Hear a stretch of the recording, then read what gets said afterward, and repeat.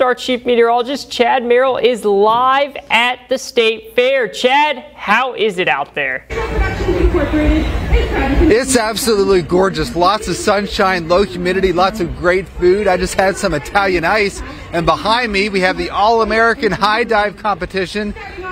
Those platforms, the highest one is 80 feet. We're going to see a couple of folks jump off that platform into the water. This is hosted by Water Show Productions. I can't wait to see that. Boy, if you're a fan of heights and you're a fan of water, you'll want to come out to Lewisburg to check this out. It's the ne- next show in line here, and it starts right about now. Let's check out your forecast, though, and let's see if the weather's going to cooperate for the rest of the evening into tomorrow.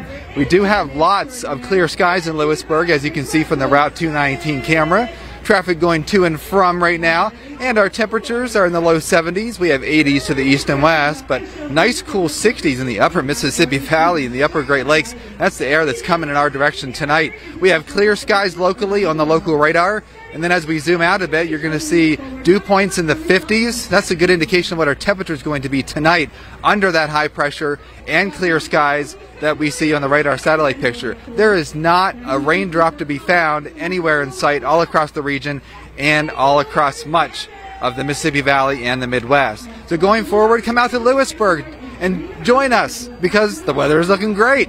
We drop back into the 50s tonight, a great sunset. Send us, send us a picture, we'll put it on the air.